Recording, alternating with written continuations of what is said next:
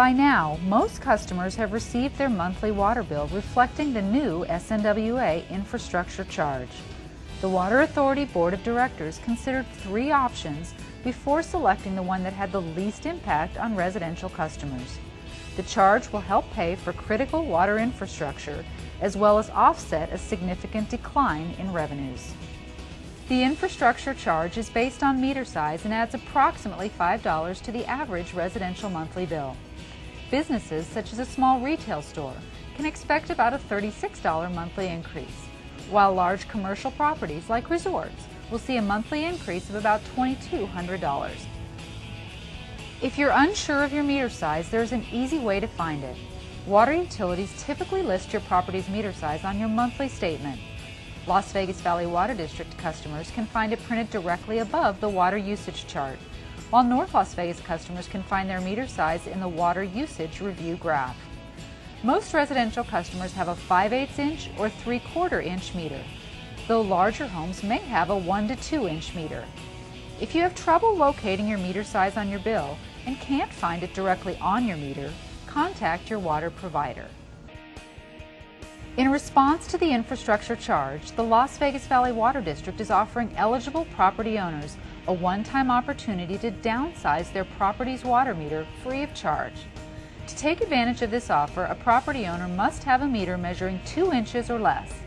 Not all meters are eligible, including those used for fire protection. Residents with single-family homes 5,000 square feet or larger on properties more than 10,000 square feet may downsize to a minimum 1 inch meter. While reducing your meter size may seem like a good option, there are a few impacts you should consider before requesting to downsize. Downsizing a meter could actually increase your water bill, particularly in the summer, because properties with larger meters have high water usage thresholds.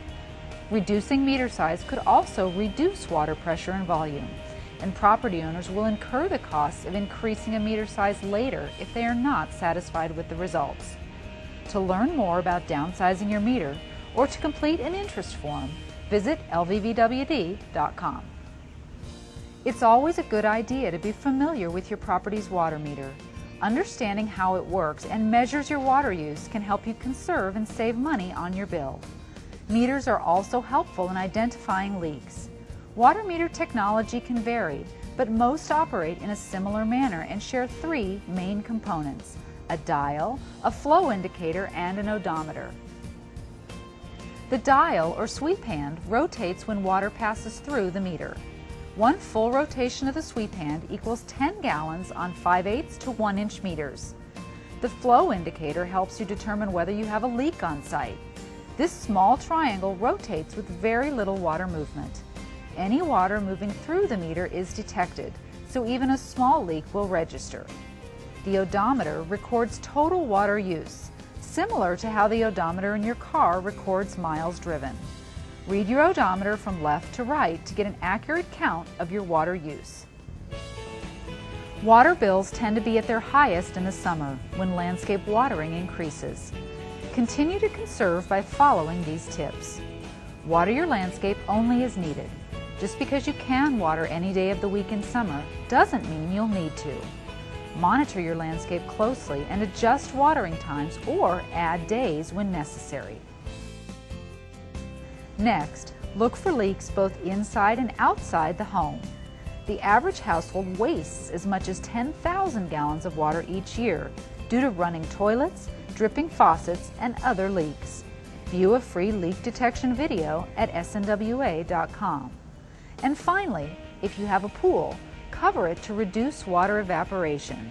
A pool cover can help save 10,000 to 15,000 gallons of water a year. Review your water bill monthly to track your water use.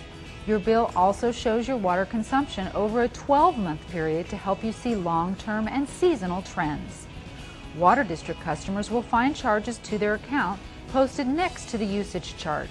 This also is where you'll see the new infrastructure charge as a line item. Customers of other water providers will see the charge on their bills as well, though it may be located in a slightly different area of their bill.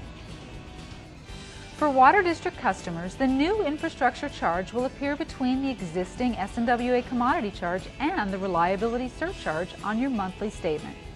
Funds from the SNWA commodity charge are used to improve water quality and enhance the reliability of the water system, while the reliability surcharge is based on the premise that customers have varying levels of need for water and should pay accordingly.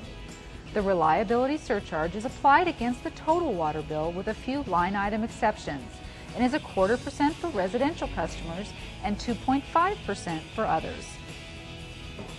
If you still have questions about the new infrastructure charge or how to identify your meter size, visit snwa.com or contact your water provider directly.